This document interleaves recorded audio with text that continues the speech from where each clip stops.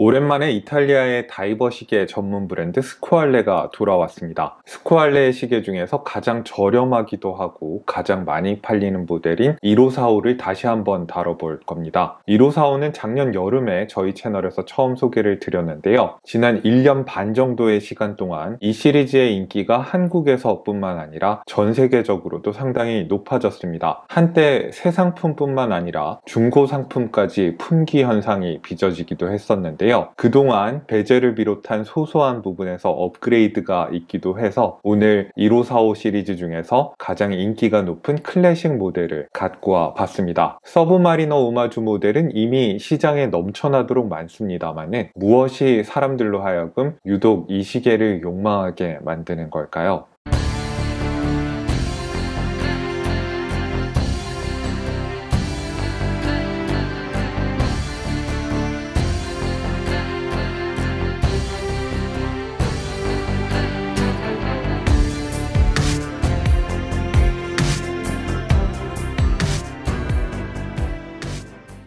평소부터 오마주 시계를 싫어해 오셨던 분들은 이 영상을 아예 클릭하지 않으셨을 거라고 믿습니다. 1545 시리즈는 제가 시리즈에 속한 많은 모델들을 직접 경험해 보기도 했고 오랫동안 사용한 시계이기도 해서 장점과 단점을 익숙하게 알고 있습니다. 오늘은 오마주 이야기에 너무 많은 시간을 쓰는 것보다 제가 이 모델에서 좋다고 생각하는 점 그리고 단점 내지 약점이라고 느끼는 부분에 대해서 같이 이야기를 해보도록 하겠습니다. 1545는 요새 자주 품절 상태가 되고 있긴 한데요. 제가 오늘 보여드릴 클래식 모델의 재고는 이 리뷰가 공개될 13일 오전 11시 시점으로 국내 공식 수입원인 와루아치즈의 소량의 재고가 확보되어 있는 것으로 알고 있습니다. Swiss made 시계들의 가격이 최근 들어 다 인상이 됐는데 스쿠알레 1545의 국내 가격은 79만원으로 아직 그대로입니다. 주변 환경의 변화 때문에 상대적으로 가성비가 좋아 보인다는 것도 1545의 장점이 될 것 같습니다. 저는 1545가 갖고 있는 큰 매력 중에 하나가 브랜드라고 생각하는데요. 서브마리너 오마주를 만드는 회사들이 대부분 소규모의 신생 브랜드인데 반해서 스쿠알레는 대기업은 아니지만 그래도 유서 깊은 다이버시계 전문 제작사입니다. 1950년에 샤를 폰 뷰렌과 엘렌 폰 뷰렌 부부가 스위스의 뇌샤텔에서 세운 폰 뷰렌이라는 시계 회사를 모태로 하고 있습니다. 폰 뷰렌은 50년대부터 전문적인 다이빙 목적에 사용될 수 있는 다이버 시계 케이스를 만드는 데 특화된 회사였습니다. 엘빈 피케레즈 같은 회사가 어, 레전드 다이버 같은 시계로 여러분들께 익숙한 super compressor 케이스를 만들어서 다른 회사에 공급을 했듯이 폰뷰렌도 높은 방수 성능을 가진 다이버 시계용 케이스를 만들어서 공급하는 역할을 했습니다. 이 시절의 스쿠알레는 특히 블랑팡과의 협업으로 유명한데 블랑팡 50 Fathoms의 케이스를 스쿠알레가 만들어 주었습니다. 아마 두 회사의 협업이 만들어낸 시계 중에서 가장 유명한 시계는 1970년대 독일 해군 특수부대를 위해서 만들어진 이른바 50 Fathoms 분트 모델일 텐데요. 이 분트 케이스와 유사한 형태의 케이스는 당대의 블랑팡뿐만 아니라 호이어나 진, 독사 같은 중량급 회사의 다이버 시계들을 널리 사용이 됐습니다. 그리고 거의 같은 형태의 케이스를 사용한 시계가 요즘도 나오고 있는데 그게 스코알레의 1521입니다. 다이버 브랜드 브랜드로서의 스코알레를 좋아하시는 분들이라면 1545가 아니라 1521이 더 옳은 선택이 될 거라고 생각합니다. 하지만 솔직히 말해서 더 수요가 높고 인기 있는 모델은 오마주 모델인 1545고 왜 그런지는 저도 알고 여러분도 알고 있을 거라고 생각을 합니다. 어쨌든 왕년에 케이스를 잘 만들던 회사다 보니까 1545의 케이스는 제 생각에는 시중에 나와 있는 서브마리너 오마주 중에서는 제일 매력적으로 나왔습니다. 1545의 케이스 직경은 40mm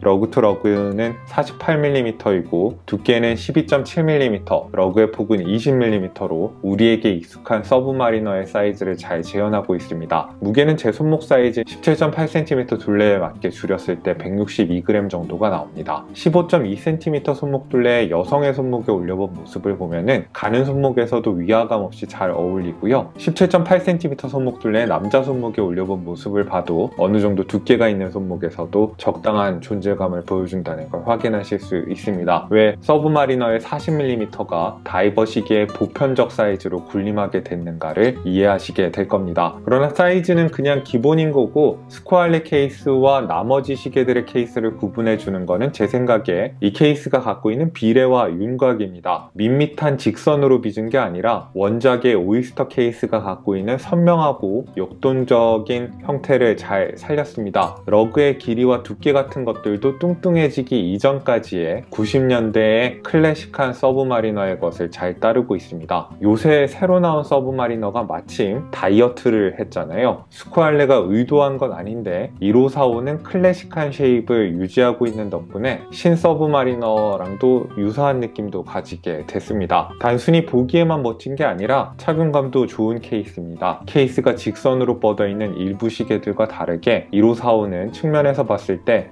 lug와 메탈줄 end link의 방향이 아래 방향으로 잘 꺾여 있어서 손목을 잘 안아줍니다. 그래서 시계가 손목 위에서 마구 흔들리지 않아서 착용감이 좋습니다. lug의 정면에는 손으로 비빈 것 같은 상당히 거친 느낌의 원형의 브러쉬가 들어가 있는데 이게 조금 호불호가 갈리긴 합니다. 90년대 서브마리너의 느낌을 재현하기 위해서 의도적으로 이렇게 한 거로 보이고요. 저는 개인적으로 이게 1545 시리즈의 개성인 것 같아서 좋아합니다. 메탈줄의 정면에는 좀 더 현대적 인 직선의 satin 브러쉬가 들어가 있는 걸 보면은 할 줄 몰라서 케이스의 브러쉬를 이렇게 한 건 아닐 겁니다. 그리고 케이스의 측면과 메탈줄의 측면에는 polish가 잘 되어 있습니다. 전반적으로 서브마리너의 비례를 거의 그대로 따르고 있는데 지름 7mm에 높이 3mm의 오버사이즈 용도가 아마 거의 유일하게 원작의 비례를 크게 벗어나는 지점일 겁니다. 측면에는 코인 엣지가 적용이 되어 있고 정면에는 스쿠알레의 전신이었던 역사적인 폼뷰렌 로고 가 새겨져 있습니다. 저는 좀 크기는 해도 이 실체감 있고 든든한 용두가 장점이라고 생각합니다. 용두가 크니까 풀고 잠그는 느낌도 더 부드럽게 느껴지고 수동 감기의 조작감이라든지 용두를 반쯤 뽑아서 날짜창을 조작할 때의 느낌이나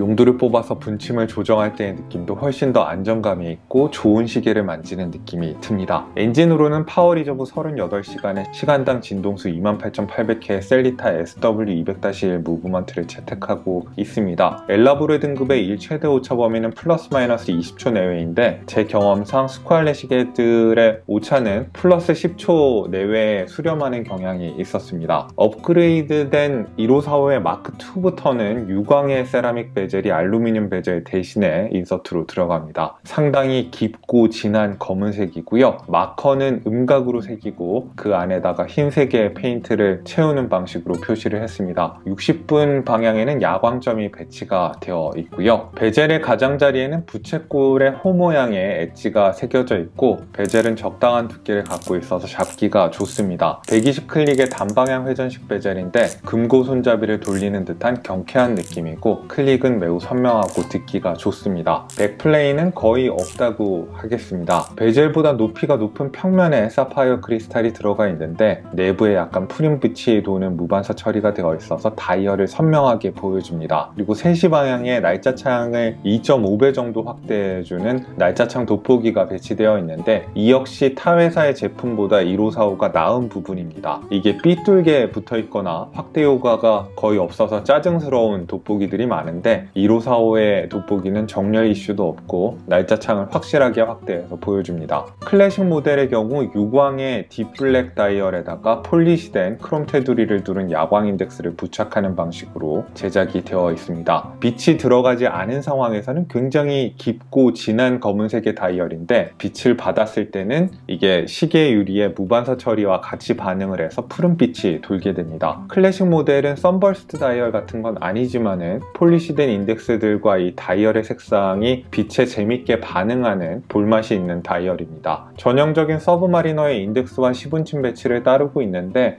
날짜창의 위치도 서브마리너와 같지만은 아니 프린트의 배치만큼은 스쿠알레의 개성이 느껴집니다. 어, 로고가 두 번 들어가는 거랑 6시 방향에 구부러진 상어 로고가 진지해 보이지 않는다는 의견을 주시는 분들도 있는데요. 스쿠알레 전성기 때 다른 회사의 케이스를 공급해서 만들어진 시계를 보시면은 12시 방향에는 완제품 제조사의 이름이 프린트가 되고 6시 방향에는 케이스 제조사인 스쿠알레의 이름이 프린트가 됐었는데 1545는 그 시절의 다이얼 다이얼을 재현하고 있는 겁니다. 구부러진 상어 로고가 웃는 입을 연상시킨다고 해서 smile 다이얼이라고 부르기도 하는데요. 이 smile 다이얼을 일부러 찾는 분들도 많습니다. 야광 인덱스나 Mercedes hands의 마감 그리고 프린트의 해상도 같은 걸 보시면은 70만원대 시계치고는 상당히 우수한 마감을 보여줍니다. 꾸준히 인기를 끄는 이유가 이해가 되는 다이얼이라고 생각합니다. 하지만 이 시계의 가장 큰 약점은 제가 봤을 때 야광인 것 같습니다. 슈퍼루미노바 C1 도료를 어, 적용을 했는데 초반 밝기만 그럴듯하고 꽤 빨리 사그라듭니다. 그래도 부착식 야광 인덱스를 채택한 클래식 모델이 프린트 다이얼을 채택 선택한 다른 1545 모델들보다는 살짝 여광이 나으니까 그건 참고하시기 바랍니다. 시계를 뒤집어 보시면 뒷면에는 아주 납작한 screw-in case back이 채택이 되어 있고 sandblast 된 바탕에 상어 로고가 그려져 있고 어, 그 주위로 스펙이 프린트가 되어 있습니다. 오이스터 스타일의 메탈줄은 너비가 20mm로 시작했다가 18mm로 좁아지고요. 어, clasp 부분에서 다시 20mm로 커집니다. 케이스와 유격이 별로 없는 solid end link를 채택을 하고 있고 메탈줄 자체도 상당히 묵직하고 꽉 짜인 느낌입니다. push pin 방식이 아니라 미니 드라이버로 나사를 풀고 조여서 길이 조정을 하는 방식도 이 가격대에서는 좀 드문 방식이고 clasp를 열어보면 꽤 듬직한 milled clasp까지 채택이 되어 있습니다. 있습니다. clasp의 미세 조정 구멍도 4개가 있고 의외로 diver's extension도 숨어 있어서 잠수복 위에 찰 때 빠르게 줄길이 조정을 할 수도 있습니다. 가격대를 감안하면 이해해야겠지만은 메탈 줄의 end link 모양이 그러니까 가운데 조각이 이렇게 튀어나온 듯한 처리가 되어 있는데 이 end link의 모양이 케이스에 비해서 다소 흐리멍텅한 느낌이 있다는 것은 조금 아쉬운 부분이고요. 일부 사용자분들이 clasp가 너무 꽉 잠기는 경향이 있어서 종종 열기가 힘들 다는 지적을 하시는 경우가 있었습니다. 이거는 개별 모델마다 좀 편차가 있는 것 같은데요. 장기적으로 봤을 때는 push 버튼을 clasp에 달아주는 게 이런 불만들을 해결하는 궁극적인 해결책이 아닌가 생각이 됩니다. 최근 들어 1545의 인기가 높아진 데에는 주변 환경의 변화가 큰 작용 작용을 했을 거라고 생각합니다. 비슷한 가격대에 있었던 Swiss made 다이버 시계들이 가격 인상을 하면서 상대적으로 가격적 장점이 부각이 되게 되었다는 점도 그렇고 비슷한 시계를 만들던 경쟁사들이 서브마리너 모델을 단종시키기로 결정하거나 부정적 논란을 잘 해결하지 못하고 스스로 무너지는 호재도 있었습니다. 하지만 시계 자체의 매력이 없었다면 이런 주변 환경의 변화를 유리하게 활용할 수 없었겠죠. 1545는 서브마리너라는 보편적 디자인의 매력을 잘 받아들이면서 70만원대 Swiss made 다이버 시계가 보여줄 수 있는 것들을 최대한 보여주는 가격 대비 만듦새나 스펙이 좋은 시계입니다. 한때 지노라는 회사가 1299불짜리 하이엔드 서브마리너 오마주를 내놓으면서 잘 나갔던 적이 있었습니다만은 작년에 이 회사가 실은 어, 자기네들 주장처럼 미국에서 출발한 신생회사가 아니라 아시아에서 온 S급 짝퉁업자가 세운 회사이고 지노가 내세웠던 in-house movement도 다 거짓말이라는 폭로가 있었습니다. 그 뒤에 지노 측의 해명이 그렇게 잘 이루어지지가 않아서인지 이제는 지노를 찾는 사람들이 예전만큼 많지가 않아 보입니다. 그래서 제가 여러분들께 여쭤보고 싶은 게 하나 있습니다. 만약에 스쿠알레가 지금보다 bezel이나 다이얼, clasp나 케이스의 마감 등을 한 단계씩 더 업그레이드를 해서 지노가 있었던 가격대를 공략하는 일종의 슈퍼 오마주를 내면 관심이 생기시는지 궁금합니다. 여러분들의 의견을 댓글로 남겨주시기 바랍니다. 자, 오늘 1545 클래식의 마크2 모델을 살펴봤습니다. 오늘도 여러분들께 유용한 정보가 됐기를 바라고요. 여기는 생활인의 시계였습니다. 안녕히 계십시오.